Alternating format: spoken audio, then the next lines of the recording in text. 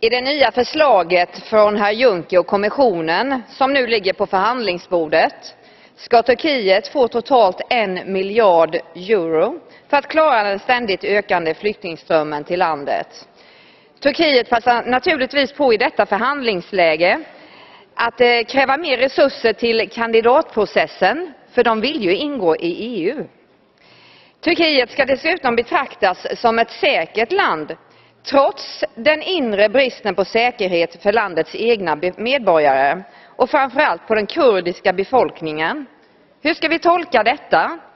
Jo, att Erdogan är en ful fisk. Alla människor har rätt till skydd, säger hans premiärminister till tidningen The Guardian, oavsett ras, religion och, eller tro. Förutom kurderna förstås. Dem kan man fortsätta att mörda under tiden med EUs goda minne. Tack.